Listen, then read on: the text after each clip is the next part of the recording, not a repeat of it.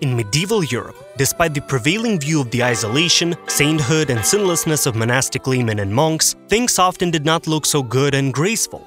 As the official versions tell us, there was nothing quite like it for monks, and much less for monastic leadership.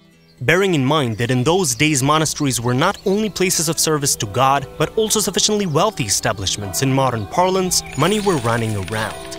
This is why the Holy Fathers often tried not to be sparing in their pleasures either. The topic of this episode is forbidden amusements of Holy Fathers in medieval Europe. You're watching Flipside of History. Our arms are exhausted. It was probably the most harmless and even hilarious amusement for those monks who were rewriting church books. A monk could rewrite about five or six pages a day. In fact, this work was quite complex, monotonous, and demanded a lot of concentration on details. After all, each letter was drawn out separately, plus it was necessary to make sure it was correct and matched to the original. Likewise, sitting all day curled up was no easy task at all, so it is not a surprise that the writing monks came up with an unofficial way to amuse themselves. Naturally, it was not officially encouraged, but unofficially the entertainment flourished among all penmen. Today there is even a name for it drollery. That is, the art of writing in the fields. You see, the borders were not considered a valuable part of the sheet, so the monks did what they wished to their hearts. Some wrote pitiful things like, My hands are tired, I want to sleep, and the similar. Others drew all kinds of creatures. For one instance, we know images of a kind of the mutant snail, a strange elephant, remotely resembling something between a tank and a quadcopter. Finally, the most preferred character of the penman for some reason was the rabbit. The rabbits in the fields were both good and evil, and they were both cannibals and warriors. Anyway, the clergy had only the best fun they could. By the way, some researchers assure that the world's first emoticon was invented by an unnamed monk. A similitude was found in the fields of one of the manuscripts. So basically, an officially unauthorized entertainment today has yielded many thousands of a fellow smiley face. Drunkenness and adulterous behavior. If we pay attention to medieval carvings and paintings, we will notice that the ministers of the church were usually not of a shapely physique. Of course, this was not the case with pilgrims and the kind, but those who lived long enough in monasteries looked at least pretty well fed.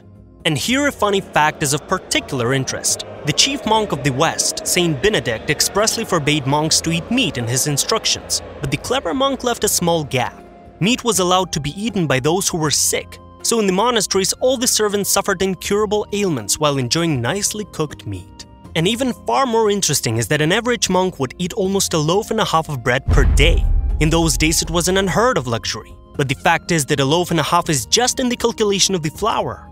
And in fact, the monasteries had arranged very good bakeries who pampered their fellow brothers with excellent baked goods. Evidently, good pastry would make you overweight fast, and even the mandatory fasting did not have much effect on weight and physique. As an example of the spread of love for sweets and cakes, which is expressly forbidden by the church, we can give St. Francis, who on his deathbed was given almond cookies. This was the final wish of the religious person along with a certain amount of lack of restraint and eating in the monasteries went side by side with a lot of lack of restraint in drinking alcoholic beverages. If beer was considered a substitute for water in those days, then wine drinking, if you look at folk tales, at least one joke out of four in a religious topic will be about the drunkenness of church officials.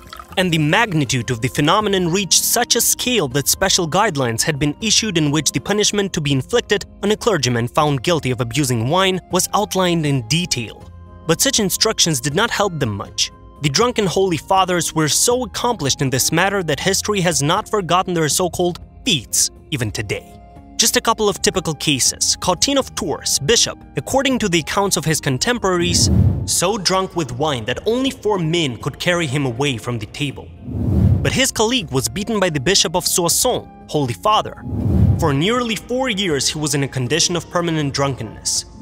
To ensure that the king did not insensibly execute a drinker when his majesty's escort was passing through town, his subordinates locked the bishop in his cell so that he would not do anything while drunk substitution, and corruption.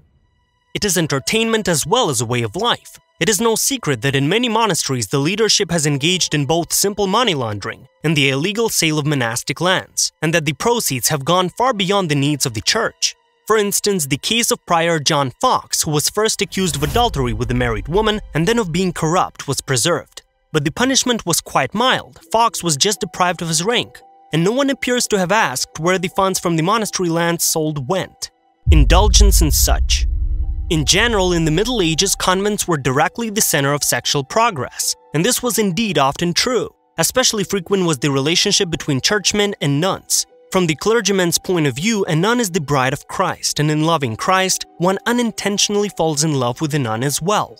It is also true that often the punishment for such a thing was quite severe. In the 12th century, in one monastery, it was found that a clergyman had been having an affair with a nun.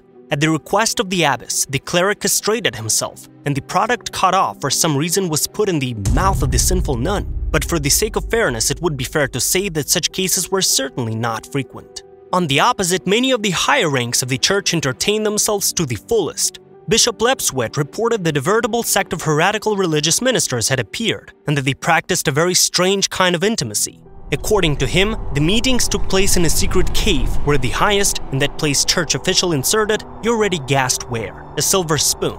And then all the present kissed the spoon, after which an enormous orgy began to be made up. And if the issue of the spoon may well have been invented by the bishop himself, as for the orgies, which were often combined with overtly pagan rituals, there is considerable evidence preserved in history. Here is what Guillaume Pepin wrote many unreformed worshippers, including even ordained ministers, used to enter non reformed nunneries and indulge in wild dances and orgies with the nuns, day and night. And there were actually many things to offend devout minds. It was outright pagan rituals. Behind these strong monastic walls, the brothers and sisters indulged in such outright debauchery that it could be compared to an elementary Sabbath. The rituals and actions that took place were not only disapproved of, but even flatly condemned by the church. But the church servants themselves sometimes went off to such an extent that they simply died unable to endure the emotional impact. The monastic men of the male monasteries then danced with the nuns of the neighboring female monasteries, and the bishops joined in their festivities. The Erfurt Chronicle even describes how one church dignitary indulged in such exorcisms that he died of a rush of blood to the head.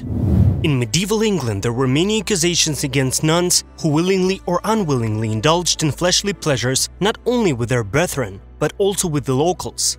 But to be fair, it must be said that the male half of the monastery did not go far in terms of observing church rules. Thus, in 1531, one monk, John Slyhurst, was accused of indecency. During the investigation, which was conducted by the bishop himself, it turned out that the monk in question had been caught doing the same thing before. In 1531, a representative of the bishop visited the abbey. During that visit, he learned that a monk was accused of molestation by name. The victim had told his mother about it. It also turned out that the monk had been caught doing the same thing before. The offender was convicted rather strangely. It was strictly banned to let boys into his cell. But where there are such cases, of course, there can be no such thing as same sex love. Officially, monks were punished for such things, and altogether officially, there could be no such a thing. But the fact is that history has conserved the so called books of repentance, which clearly and in detail examined how a monk could atone for this or that sin. These three books were named the Book of Finian, the Book of Columbanus, and the Book of Cummean.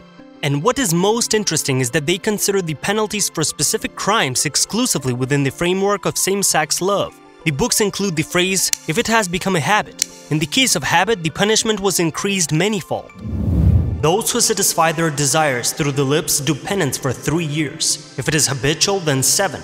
Columbanus requires that a monk who has committed the sin of sodomy must do penance for 10 years. In essence, the penalties for indirect contact were quite light ranging from 5 to 100 days of fasting, depending on the author of the book. And here it is interesting that King Edward I of England introduced the death penalty for this in 1317.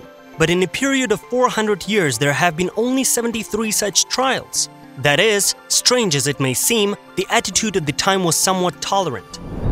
Thank you for watching our episode. Do not hesitate to subscribe, also leave a like, and watch other episodes on Flipside of History.